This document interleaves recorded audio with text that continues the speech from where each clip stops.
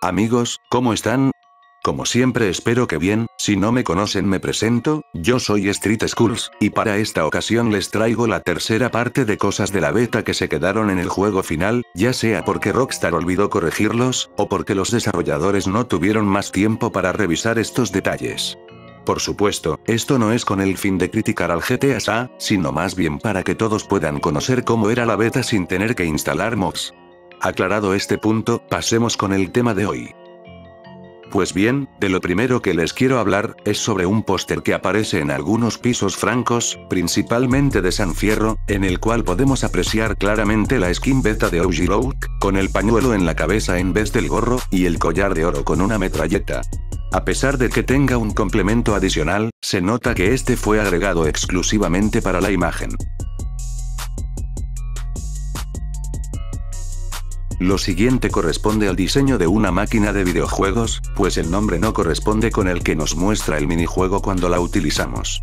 En un primer momento se llamaba BB Bone, y finalmente le pusieron una frase, que hace referencia a Michael Buffer, un presentador de boxeo y lucha libre estadounidense. Su típica forma de anunciar, traducida al español, quiere decir, prepárense para la pelea. Ahora vamos con una decoración, que está presente en los Ammunition, y se trata de un blanco, con el modelo de CJ. Lo curioso es que la imagen procede de una captura de pantalla oficial, publicada antes del lanzamiento del juego, y se puede notar claramente que esta era la skin beta del personaje, en detalles como el antiguo diseño del pantalón que utiliza. En otros videos les he mostrado cómo eran las antiguas skins de los integrantes del Growth, pero en esta ocasión nos centraremos en el Family número 3, pues resulta que la camiseta que utiliza también es una prenda reutilizada de CJ, a la cual se le hicieron algunos cambios, como el color o la posición del número 7, pero en general sigue manteniendo el diseño antiguo. Les dejaré una comparación con la camiseta que está colgada en el Prolapse, para que no tengan dudas. ¿Sabían ustedes que la skin de Ryder es la que menos cambios tuvo, y también es la más antigua de los Families? En otras oportunidades les he explicado por qué la banda se llamaba Orange Growth, y que su color predefinido era el negro. Los invito a que vean mi video llamado, Así era realmente la beta de GTA San Andreas, para que entiendan más a fondo los orígenes de la banda, pues es un poquito largo de explicar. En todo caso, lo que sucede es que el primer diseño de Ryder, fue el que se descartó más rápido, y el modelo actual fue el primero en portar los colores verdes, lo que indica que fue quien inspiró la transición de Orange Growth, a Grove Street Families. Con esto en mente, si observamos el color de su chaqueta, notaremos que se trata de un verde oscuro, con mayor porcentaje de azul. Bueno, pues resulta que los miembros de la banda portaron esta misma tonalidad, como lo podemos comprobar con el Family de capucha que está en los archivos internos. Por lo tanto, lo que se puede decir de este detalle, es que a Rockstar le faltó actualizar a Ryder, a diferencia del resto de la banda. ¿Recuerdan en la primera parte que les mostré el estadio de Vice City, como uno de los interiores ocultos? Bueno, la razón de su presencia en el inframundo, se debe probablemente a que lo utilizaron para crear al estadio de San Fierro. Como prueba de ello, están los carteles del fondo, pues reutilizaron algunos. Y si esto no es suficiente, basta con mirar el pickup para reparar nuestro auto, pues el estilo es exactamente igual a los de la entrega anterior. La parte exterior de este lugar también sufrió un cambio interesante, y lo podemos comprobar gracias a la textura en baja calidad que aparece cuando estamos en una parte alejada. Pues sí, las columnas antes eran de color naranja, como se los mostré en el video del mapa beta.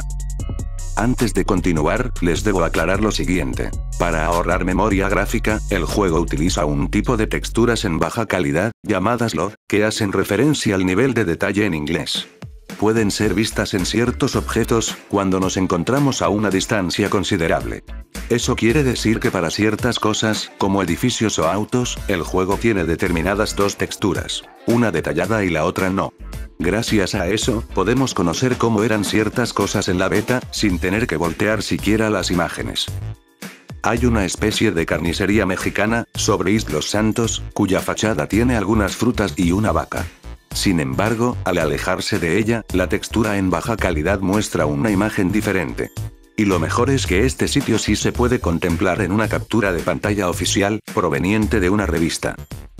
Con la pizzería, que está frente a la peluquería del viejo Riz, sucede lo mismo. En principio puede parecer que es igual, pero el detalle está en los estacionamientos delanteros. Como se los mostré en otra ocasión, estos tenían franjas de división, y la versión final fue simplificada. Vale, de lo siguiente no había hablado antes, pues esto lo encontré mientras grababa este video.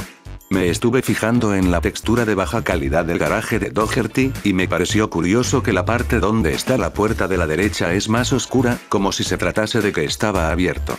Algunas cosas, como las imágenes del manual oficial del juego, sugieren que este lugar era accesible de forma natural, y con ayuda de un mod, pueden darse cuenta que parece encajar. Con el Pay and Spray que ven en pantalla, ocurre un caso similar. Está ubicado en las Venturas, y lo que sucede con sus texturas lo, es que parecen indicar que antes en el mismo sitio no existía este taller de pintura, sino un Westside Motors, que es otro taller no accesible en el juego. La Pawn Shop, que está cerca de East Beach, en el espacio que parece estar ocupado por una puerta, antes tenía la figura de lo que parece ser una mujer. Lamentablemente no encontré una recreación en alta calidad.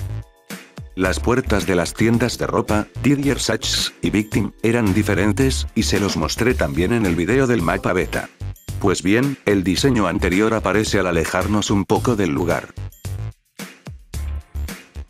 También el detalle de tener una puerta diferente, ocurre en uno de los hoteles que podemos comprar en las Venturas. De lejos se alcanza a apreciar que la entrada antes era más grande, y era de color rojo. Y sí, como les dije anteriormente, las texturas en baja calidad también revelan los diseños previos de los vehículos. Yo por ejemplo, encontré el detalle principalmente en los helicópteros Maverick, en sus tres versiones distintas, que son el normal, el de noticias, y el de la policía. En los dos primeros se alcanza a apreciar un orden diferente en los colores, mientras que en el otro aparecen las siglas de las ciudades, y no las del estado en general. Los invito a ver mis videos de vehículos beta, ya que allí les enseño los modelos antiguos bien detallados. En cuanto al tanque Rhino, parece ser que conserva el mismo modelo del GTA Vice City, en baja calidad. Y ya dejando de lado las texturas LOD, les tengo otros detalles interesantes en algunos puntos del mapa. De lo siguiente no estoy seguro, pero puede que se trate de un punto de spawn que no fue eliminado. Resulta que el estacionamiento donde se hacen las misiones de aparcacoches, tenía dos plantas, como se pudo ver en un clip de prelanzamiento, y en la guía oficial.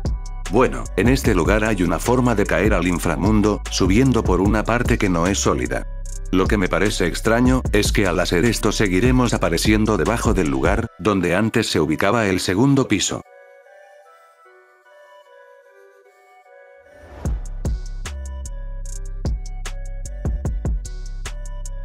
En mi opinión, diría que es algo similar a lo que sucede en el techo del hospital de San Fierro, pues en la fase beta este edificio contaba con dos helipuertos a cada costado, y fueron eliminados, pero en el juego siguen apareciendo helicópteros en el sitio donde estaban. Bien, lo siguiente es un punto de colisión erróneo, que está ubicado en Cranberry Station. Resulta que en la parte que sobresale de la entrada, antes había un cartel y este fue eliminado. La imagen que lo comprueba todavía se encuentra en la animación flash que tiene Rockstar en la página oficial de San Andreas. Si intentamos subir allí con el truco del super salto, nos colgaremos a la nada, y si nos paramos detrás de donde estaba el cartel tampoco podremos pasar. Este lugar es conocido por ser una característica perdida, en el port que se hizo desde la versión de PS2 a PS. Sin embargo, hay un detalle más a mencionar, y es que el hippie que sobresale del edificio, sí fue un peatón beta. Se puede comprobar explorando los archivos del juego, pues la textura está completa para todo el cuerpo. Otro error en el mapa, es el indicador de un helipuerto en la base militar de Easter Basin. Como pueden notar en el minimapa, está marcado sobre el mar, cuando en realidad se encuentra ubicado en la parte de atrás. Y algo que me llamó la atención, es que en GTA San no solo hay máquinas expendedoras de Sprong, sino también de otra compañía, que es Soda. Yo solo las he visto en esta gasolinera de San Fierro, y tiene exactamente el mismo diseño que las de GTA 3. Creo que se trata de un caso similar a lo que ya vimos con la beta de Sprong, en la parte 2, pues fueron traídas desde una entrega anterior, y quizás olvidaron actualizar. En la primera misión que hacemos al llegar a San Fierro, cuando conocemos a Shiro, lo vemos manejando un helicóptero a control remoto, que curiosamente nunca podremos utilizar. Se trata del RS Rider, y fue traído desde Vice City. A diferencia del Goblin, este es de color verde. Tiene líneas de manejo en el fichero handling y se puede spawnear con un mod, pero aún así, es imposible manejarlo. También les traigo más audios erróneos. Por ejemplo, la policía menciona el nombre beta que tenía la ciudad de las Venturas.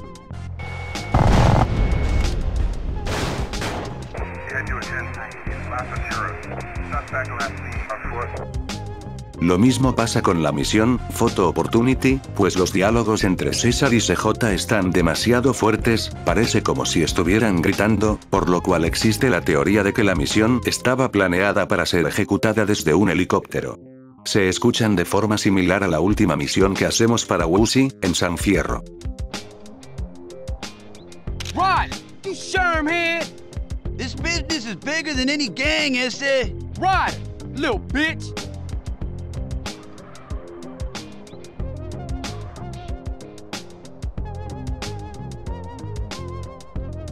This guy take himself real serious.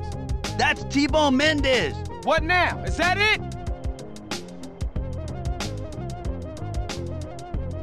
Hey, who's the gringo? I don't like the look of that guy. This more than a few thugs push a product. It's a serious organization.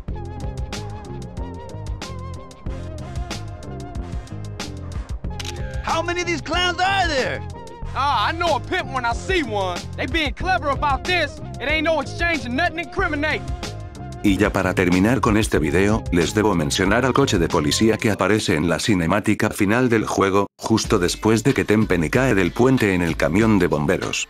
La gente atribuye su presencia a que es uno de los coches que nos perseguían, y hasta cierto punto tiene sentido, pero también se ha dicho que pudo ser el coche de Tempenny en una fase de desarrollo muy temprana, y esto lo pueden juzgar ustedes mismos, con la posición en la que quedó el auto, y la puerta abierta, que son exactamente las mismas características con las que queda el camión de bomberos. Además, el modelo de este auto no es el mismo que el que aparece en otras cinemáticas, y lo pueden comprobar con la forma de la carrocería.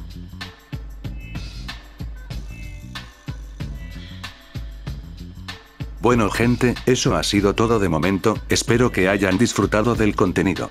De ser así, solo les pido que me ayuden compartiendo este video con sus amigos y conocidos, para poder llegar a más personas, además de dejar su like, un comentario, y por supuesto, suscribiéndose y activando la campanita para estar al tanto de las novedades del canal, les aseguro que seguiré subiendo cosas muy interesantes. No tengo más por decir, así que les mando un saludo, y espero verlos en los próximos días.